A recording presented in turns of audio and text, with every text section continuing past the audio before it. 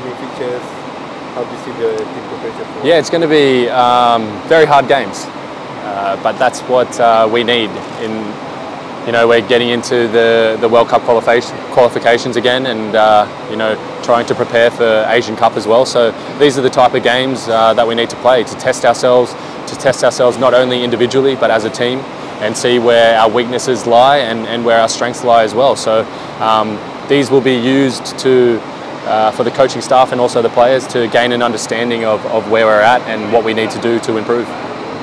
Far away from National Stadium, how do you see the, the, the, the challenge? Yeah, of course, it's going to be a challenge playing overseas. We're always, you know, very good uh, in Bukit Jalil with our fans and, and everyone cheering us on. But again, you know, when it comes to uh, the, the Asian Games, we're going to be overseas as well uh, on different fields and and um, it's a chance for us to get used to that, used to the pressure of not being in our home country, and uh, hopefully we can do Malaysian fans proud and, and, and give our all for the country. Brendan, uh, do you think against China and Syria is a physical game?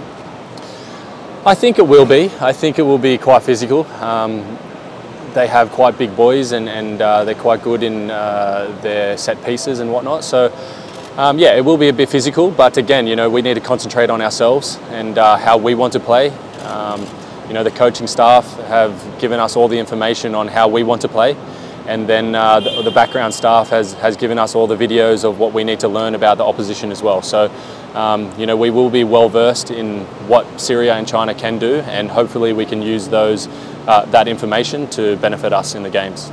As one of the senior players in the squad, how do you influence the new guys?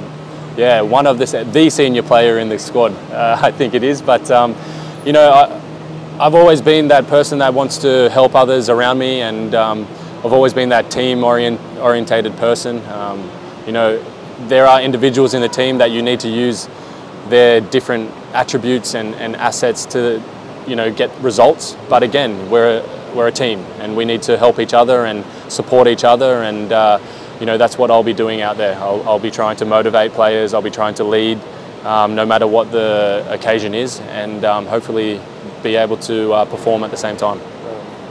Do you believe this is the best squad that we have now? Um, I think there are so many good players in Malaysia that anyone really can come in and, and do a job. Um, I think that's what the, the good thing about the players in Malaysia and also the Super League has shown this year is that there are quality players out there and whoever steps in um, can do the job and, and hopefully the squad that we have right now it's a strong squad and hopefully we can we can get the job done as well. Is there a possibility of us seeing you play a centre back again?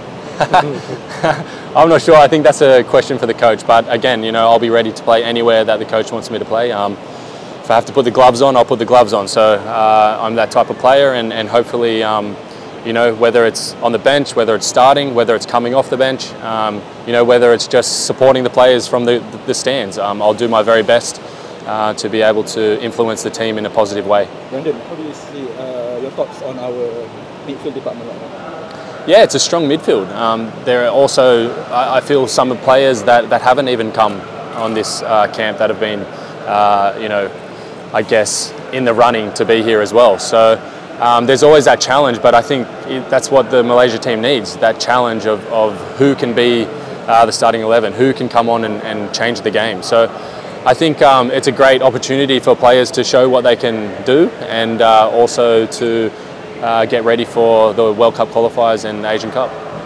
In preparation against teams that are ranked uh, in the top 100, is there any difference in the tactical or is there any like different things that Kim Pangona has stressed on?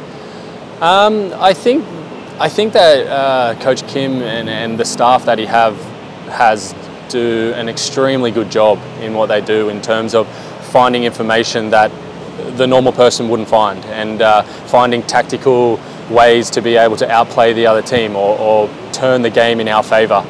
Um, so the work that they do, they change almost every camp. But again, you know, we have to be able to adapt and learn and and be focused on what they want us to do. And uh, if we can do what they want us to do with the information they provide, then for sure we will have positive results. Okay, Brendan, if I'm not mistaken, the last time you scored for the national team was in 2019. So it's been a while. Mm -hmm. Does that bother you at all? or? No, I don't care who scores goals as long as we win the game uh, at the end of the day. It doesn't matter. You know, a lot of people talk about the strikers or the or the, the wingers or you know the attacking people being you know scoring the goals and, and having influence on the game. But again, you know, if I do my job and I win those balls and I, I give the ball to the, the people that can score the goals, then then that's all I need to do. Again, it's a team team sport. We all need to help each other, and at the end of the day, it doesn't matter who scores, as long as we win the game. Okay, thank you. Okay.